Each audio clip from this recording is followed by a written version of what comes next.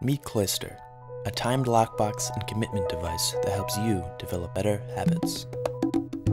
You can use Cloister to take a break from your smartphone, or maybe to get healthier by cutting back on smoking. You can practice better spending habits and save money, control your medication use, and even prevent drunk driving. Cloister is easy to get started with.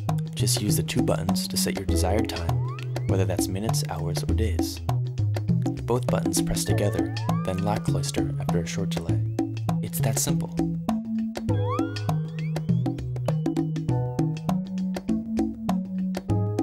Cloister is large enough to fit all sorts of things. It's small enough so you can take it with you from home to office and beyond. Its long-lasting lithium battery is even rechargeable via USB.